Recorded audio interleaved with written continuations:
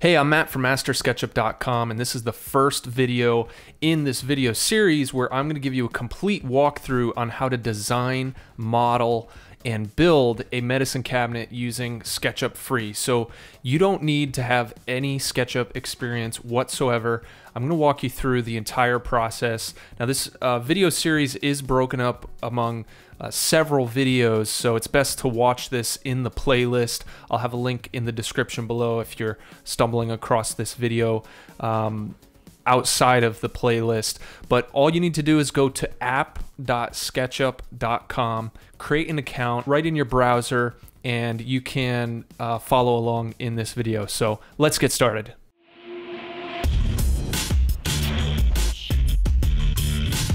All right, so inside SketchUp, the first thing you're going to do is click on Josh here and just tap delete. And then we're going to create a basic box to represent the boundaries of the medicine cabinet. So we'll use the rectangle tool, which is right here. You can also tap the letter R to activate that. And you're going to hover over this origin point and click once and then move your mouse outwards. Now notice how in the bottom right hand corner it's showing you dimensions.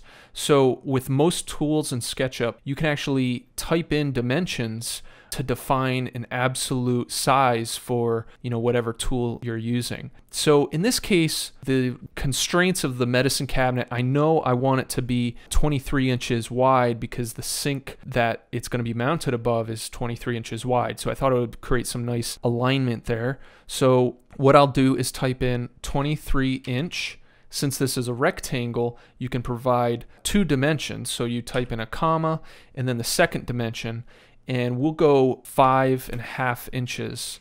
Now notice how I can type in fractions and SketchUp will actually also allow you to input decimals. So I could have put 5.5 inch and that would have worked as well. So once you're done typing in the dimension, just tap enter and that rectangle will resize. Now, to get a better view of this rectangle we just created, we need to know some basic navigation. So with your mouse, the scroll wheel allows you to zoom in and out, and it'll actually zoom to wherever your mouse is located. So if your mouse cursor is located way over here and you start zooming in, you're going to zoom way off over there. So you want to hover over whatever you want to get close to or push away from, and then scroll your mouse. Now, the second thing is the orbit tool.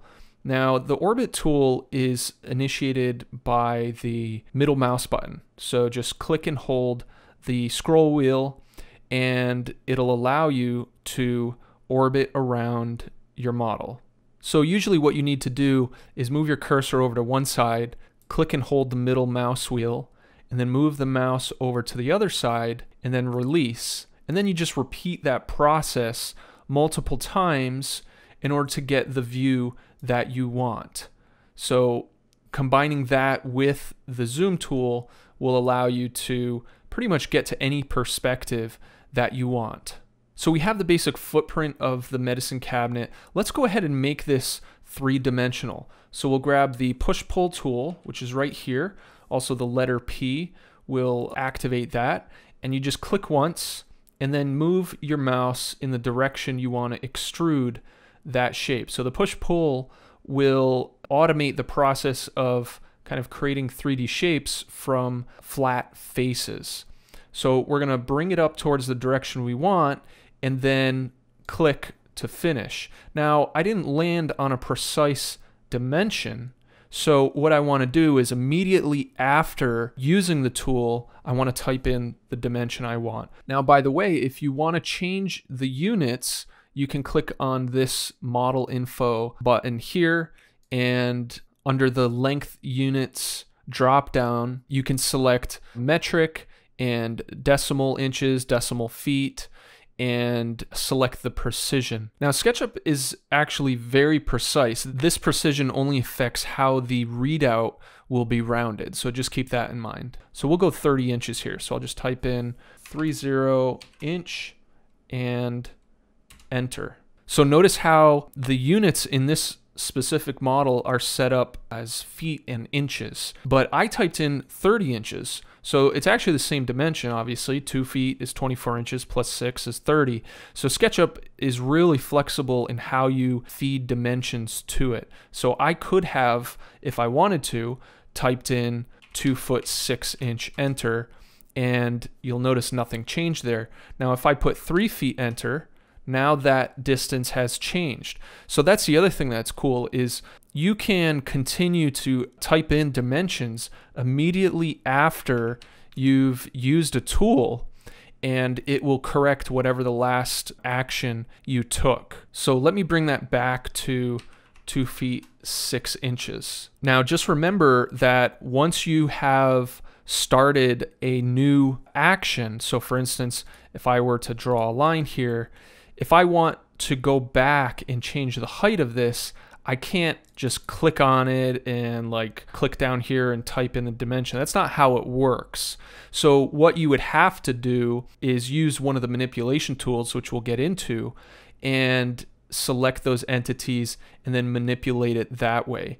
So the measurements box down here ultimately will accept input from you immediately during or immediately after the action that you just took. Okay, so let me delete this line here. So I'll just grab the eraser tool, which is the letter E on the keyboard, and click and drag over that to erase. I also could have done Control Z to undo, which would have been a little bit easier as well. So this box here is just going to be kind of a reference, a temporary reference, so we can kind of draw on top of it to create all the parts and pieces of the medicine cabinet. So the next thing that we want to do, and pretty much any time you create a 3D shape, basically as soon as you have turned it into a 3D shape, I recommend converting the entities into a group, or I should say containing them into a group. So what I mean by that is if we select everything here, which you can do by either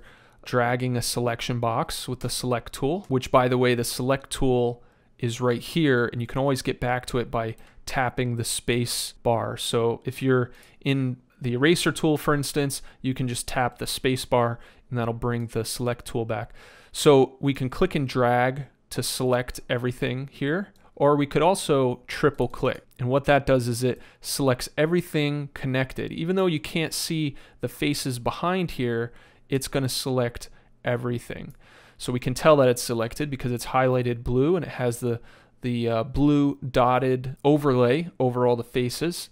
And then we will turn this into a group. So we're going to right click and make group. So now what we've done is we've taken all of these edges and faces and instead of having them selected individually and manipulated individually, we've contained them inside of a container called a group. So now we can select this entire box with a single click. And since we are going to be using this as just a reference box, let's go ahead and grab the paint bucket tool, which is letter B, and let's try and find a transparent material that we can apply. So maybe we'll go to glass and mirrors and we'll just click on this one here and then apply it. So now we can kind of see through this object so we can see the additional geometry that we're about to create a little more easily. All right, so that's it for this first video. In the next video, we're gonna actually model the box of the medicine cabinet and it should be coming right up in the playlist or if not, you can check out the link in the description below. So thanks for watching.